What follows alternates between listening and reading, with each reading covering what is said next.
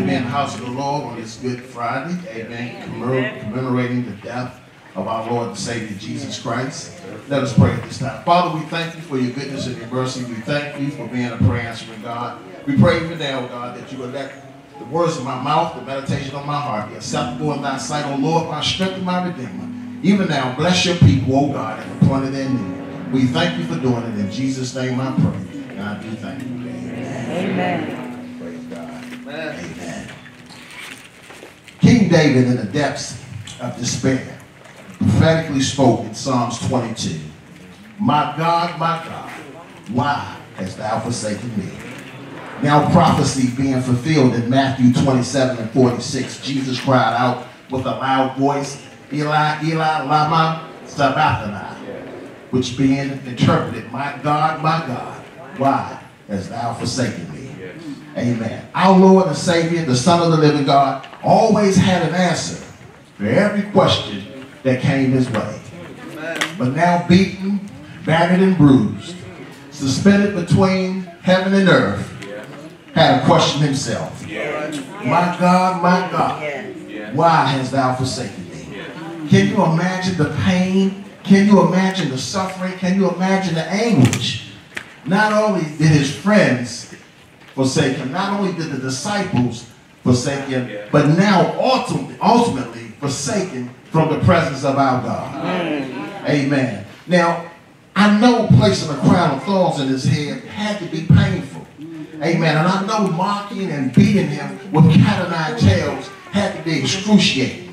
I know spitting in his face and slapping him had to be humiliating. But I submit to you tonight that the pain oh, and the suffering that our Savior truly endured was the absence from the presence of our God. You see, past, present, and future sins was placed on our Lord and Savior Jesus Christ. And of course we know God cannot look on sin. Amen. And since the fact he can't look on sin, he had to turn his face. And I don't know about you, but I never want God to turn his face away from me. Amen. I never ever want to be separated from the presence of our God. Amen. That's why the psalmist declared that in the Lord, it is the presence of the Lord, there's fullness of joy. Amen. And his right hand, there's pleasures forevermore. Amen. So much joy, so much peace, so much contentment in the presence of our God. But now Jesus finds himself in a very unfamiliar territory.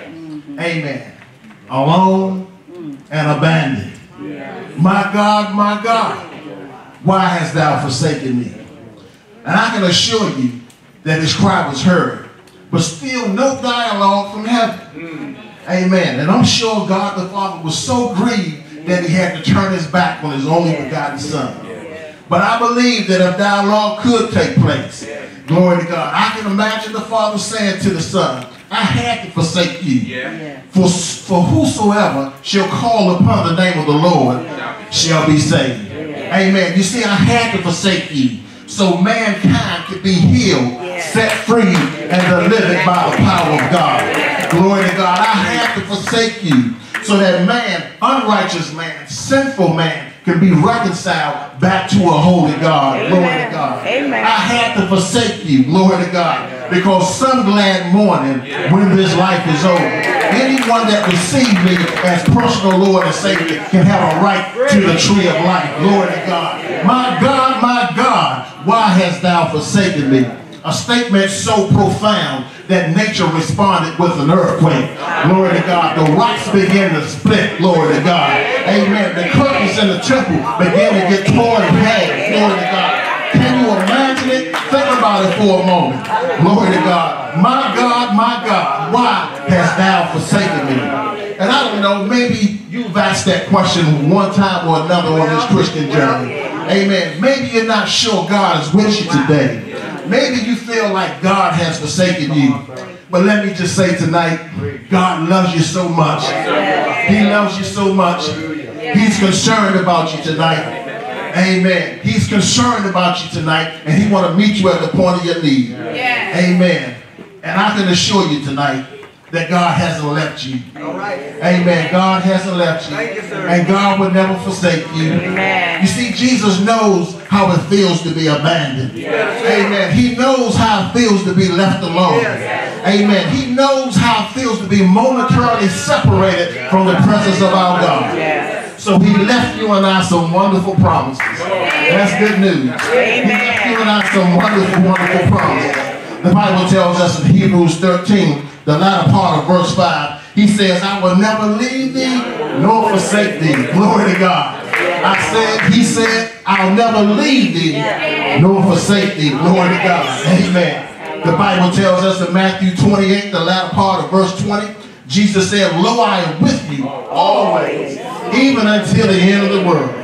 What a wonderful promise that God has made to you and to me on this Good Friday. Do you believe it tonight? Amen. Do you believe it tonight? Then give God a praise.